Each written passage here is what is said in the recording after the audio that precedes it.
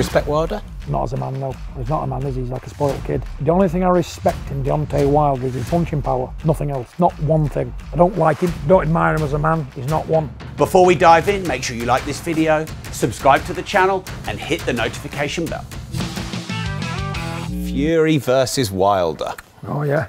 So, is Fury Wilder 3 one of the best fights of all time? Where do you rank it?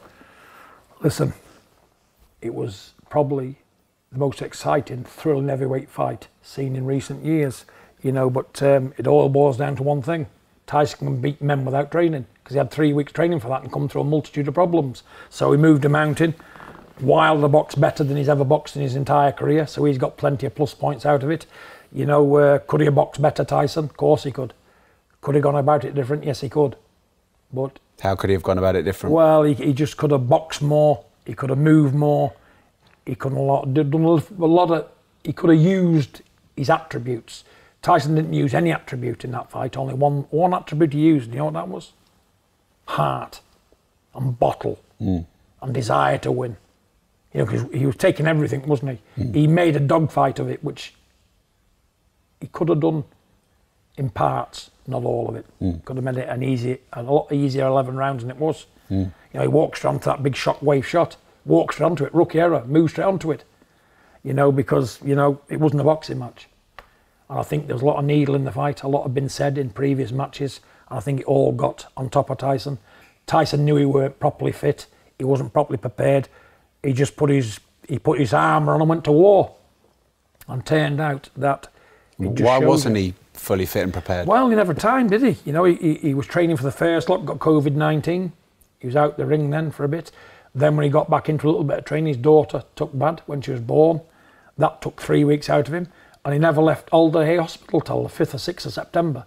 And then he fought a month later, four weeks, you know. Hmm. Over there to where he went, Vegas, he had jet lag for 10 days. So take 10 days off it, how could you be fit? Hmm. When you put it all together and look at the problems he had, there was no way he could win. I knew, I, and I knew this. It was bothering me, but I thought, you know what?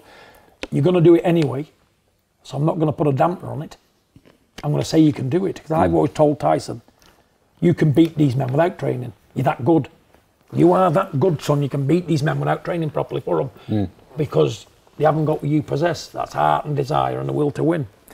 And for me, it was a worrying thing because even though we're trying to big him up he's going to do it anyway, I tried to say to him, leave it. Don't bother. You can't do it. It's impossible. He's been training for 12 months for you. You know, he's, he's made a lot of adjustments, which he did. And I just thought, this is im- this time it's mission impossible. I thought, am I being a proper dad by saying do this and do that? I told him straight, I said, Tyson, when he come out of Liverpool, put this back till next year. I didn't want it put back till November or December next year. He said, Dad, if I got one leg, he said, and one arm, he said, and I had the flu and I was in bad health, I'd be fighting Deontay Wilder. well, so on that, let's get to it and do what you can do best, and that's fight. I said, you can fight 12 rounds no matter how mentally stressed out you are, even if you're not physically that good. And all I did was spar. Spar, that's it.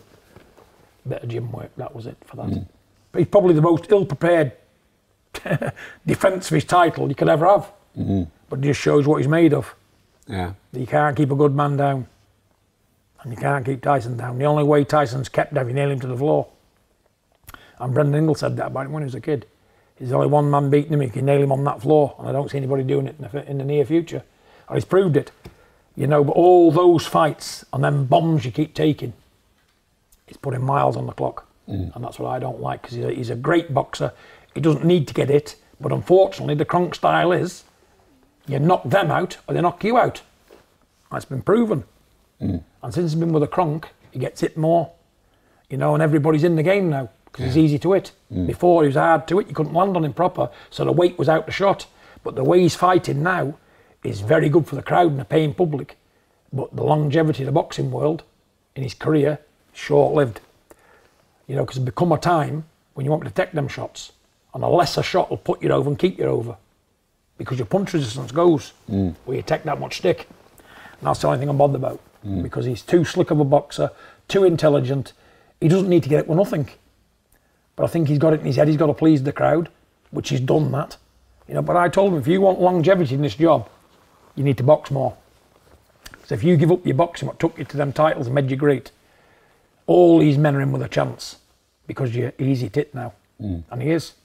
Because it's not a boxing display, is it? That last fight, even on top of the mental problems he had, he was injured anyway.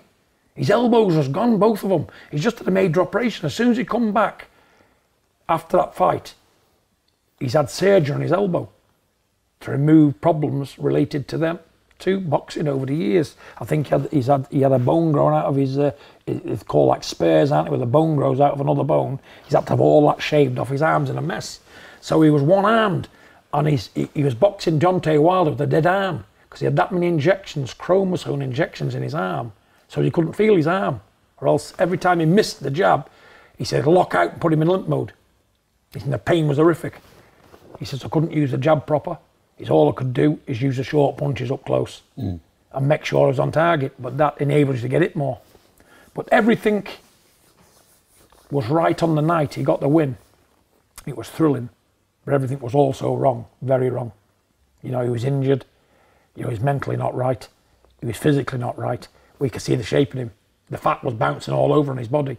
You know, and to be honest with you, it must be shameful on the strength and conditioner tearing his man out like that, really. But it's not his fault because no, he had no time to do anything with him. Mm. He can only do what he had. He can only could do what he could do with the time span he had, which was very little. You know, you can see he can win at any given point, Tyson. Mm. But no one's superhuman. I know he's so, showing superhuman powers, but it'll all come crashing down if you don't box more. But everyone now is in with a chance. And everybody's thinking, yeah, he's slowing down. You know, he's easier to, he's more square on. He is, because that's how he's being trained to knock people out. You know, but a man what can box like him, why not use it hmm. and keep yourself in the game a bit longer? Fight when you've got to fight, box when you've got to box. If I had my money, if I was training him, he'd be a box fighter, but I'd do it in spasms. I'd fight in 20 second intervals and then box again. Hmm. I'd give him some stick for 15 or 20 seconds, then get back on my bike and box red off. You know, and keep the head moving, keep the feints going, keep angles left and right all over the ring, what he's good at. But now, what's he good at? Going forward and taking punches and outgaming people. You know, because that's all it is at the minute. But it's working. Mm. You know, but listen, How many more fights do you think he's got? he could have one, he could have another ten. I don't know what Tyson. He can't live without the sport of boxing. Mm. It's all he, that's his life. You know, take him, give him three weeks out the gym, and he's lost. He's like an headless chicken. He needs that injection of sport boxing mm. in his life, so he could go on for a long time. I said retire the other day. So you don't need to do anymore. You've won everything. You know, you've got millions of dollars in the bank. You don't need the money. Enjoy your spoils of war, but he doesn't enjoy the money. He doesn't enjoy what he's done. He only enjoys the sport of fighting mm. because the rest of it's irrelevant to him. I know it is. You know, he likes being relevant. He likes all that, but it all comes to an end with him, and he starts to want mm. the slog and the thrill of the chase again. Because when Tyson's defending them titles, he's not like a defending champion. He's like he's trying to win it, Yeah. and that's how you got to be. And I still see that fire burning bright, mm. and I'll know when it's not. Mm. But I think it is. It still is. Do You you, know, a lot more for him to do yet. yeah. Do you respect Wilder? Not as a man, no. Why not? because he's horrible. He's not a man, is he? He's like a spoilt kid. I do, the only thing I respect in Deontay Wilder is his punching power. Nothing else. Not one thing. I don't like him. Don't admire him as a man. He's not one. But can he punch? Of course he can. Has he got guts and can ship punishment? Yes, he can. I respect his desire to stay in the game as long as he did. Because he was beat from the fifth round on, or fourth round. I know he got the knockdown, but he was still getting beat till he got the knockdown. But after the fourth and the fifth, it showed art and gameness to get to the 11th round with the stick he took. So I admire that part of him and his punching power, nothing else. 'Cause There's nothing else to admire, hmm. is there? Do you think Wilder respects Tyson? He's got to. Even though he don't want to, he does. He's got to because of what's happened to him. He's beat him three times, hasn't he? We couldn't make an excuse the third time No, well, round, he could he? I thought I was waiting for him, didn't you? but I think it was a bit too much, the excuses this time. That's to put me off him altogether. Because, you know what, I thought when I first seen him box, I thought, you know what, you could have a great champion, you. You have to take your time, you get match right and learn to box a bit better. But you know, when I seen the carrying out of him last time, I seen how he handled himself in defeat. And that's not a man in my book. It's like a spoilt kid who thought that his ego could never get dented and he thought there wasn't a man on the planet that could even equal him. But you know, I've seen through all that. Mm. No, but that's Deontay Wilder. I hope I never have to see or hear him again. That's how I feel about Deontay Wilder. Mm. But can he punch? Yeah. Do I respect that? Yes. Biggest puncher this century. Wow. Yeah. Mm. He's as big a puncher as they've ever been. You know, and um, Even like Tyson. said, yeah, yeah, he could punch every bit as hard as Mike Tyson. Him, believe me. But Tyson delivered his shots differently. But him was a one-punch man. Well, just look, Tyson weighed 20 stone on the night. The shot waves went straight right through his body. Have you ever seen that before? No. I haven't. You know, he's a big puncher, all right. You know, he's got art. Of course he has. But you know, if he just needs to look in the mirror and tweak his man- mannerisms, he'd get respected more. People like me, but who am I? Who am I to disrespect anybody? But I like honour and I like men. And you know what? It shows what kind of a man you are when you get defeated. That's when the truth comes out in your true colours. Mm. When you do take a defeat, it's how you handle it. And I know how my son's handled it. God forbid, touch wood, it never happens. But I know how he's been brought up. Good on you, my friend. You're the better man tonight. Good luck. Carry on with your career. All the very best to you. Not like I don't respect you. I don't. I don't respect you as a man or a boxer or a sportsman. I told Tyson, do not go near that man.